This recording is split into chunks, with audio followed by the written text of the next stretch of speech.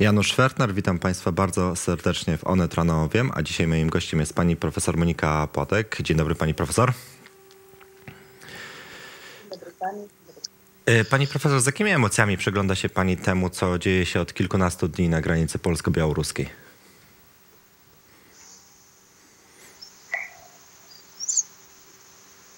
Z zadziwieniem, ponieważ to, co się dzieje, jest naruszeniem podstawowych praw, które obowiązują w Polsce, polskiej konstytucji, polskich przepisów, prawa międzynarodowego. I sobie myślę, że nie wiedziałam, że żyjemy w takim dziwnym kraju, w którym proch może go rozjeść 32 uchodźców i kot.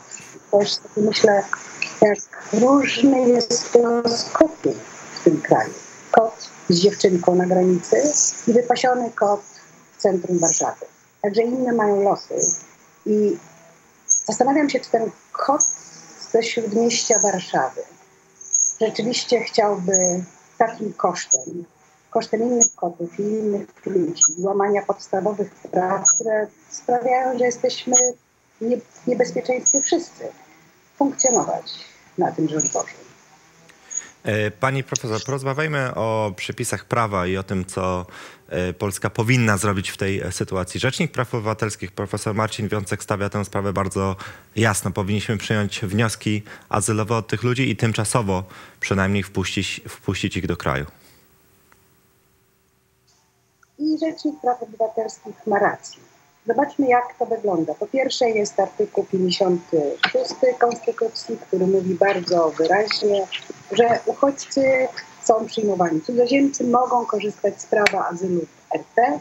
Cudzoziemcom, którzy w RP poszukują ochrony przed prześladowaniem, może być przyznany status uchodźcy wiążącymi Polską umowami. To jest konwencja genewska. Jest również artykuł 37 Konstytucji, który mówi o tym, że kto znajduje się pod władzą RP, korzysta z wolności i praw.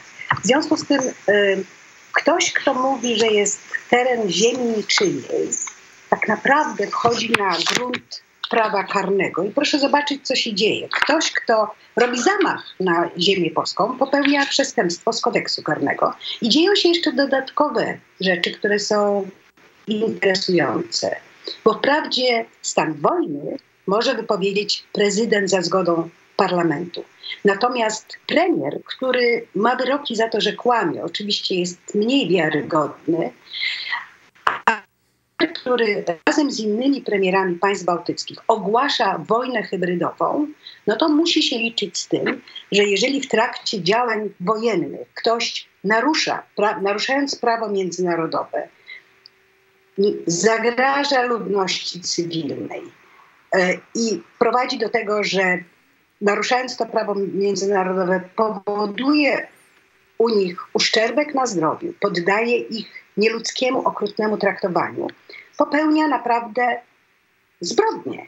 Co więcej, nawet jeśli byśmy zostawili tą wojnę hybrydową, która nie jest zdefiniowana, i zobaczylibyśmy, jak wyglądają przepisy, które mówią o naruszaniu prawa międzynarodowego, i tutaj znowu, kto narusza prawo międzynarodowe, dopuszczając się zamachu na godność osobistą, w szczególności poniżającego i upokarzającego traktowania, pozbawia wolności, pozbawia prawa do niezawisłego i bezstronnego sądu, ogranicza prawo tych osób do obrony w postępowaniu. I tutaj to postępowanie zgodne z prawem również wymaga tego, żeby zgodnie z konwencją genewską z 1951 roku mieć możliwość złożenia papierów. Teraz rząd, który naruszając konstytucję i konwencję, wydaje rozporządzenia. Rozporządzenie jest ustawą niższej rangi niż ustawa, w związku z tym nie może być sprzeczne z ustawą i wydaje rozporządzenia na dodatek wstecznie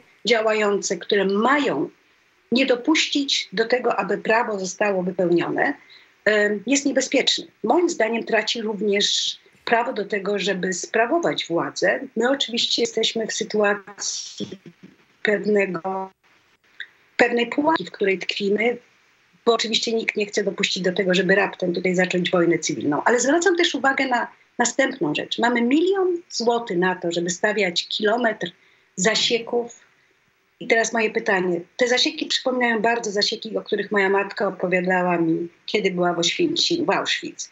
I tamte zasieki były pod prądem. Czy te zasieki też są pod prądem? Czy zdajemy sobie sprawę z tego, na co narażamy grupkę ludzi po drugiej stronie? I chcę też powiedzieć, nieważne ile by ich było. Nieważne, czy byłoby ich 300, 32, 320 czy 3200. Czy naprawdę prawie 40-milionowy kraj nie stać na to, aby zachowywać się godnie i przestrzegać własnego prawa. Co więcej, łamiemy w tej chwili również prawo, które dotychczas nie było naruszane. Mówię o orzeczeniach Europejskiego Trybunału Praw Człowieka. I Europejski pra- Trybunał Praw mówi to, co powiedzieć w ramach konwencji, mówi nam, nie możemy naruszać artykułu trzeciego.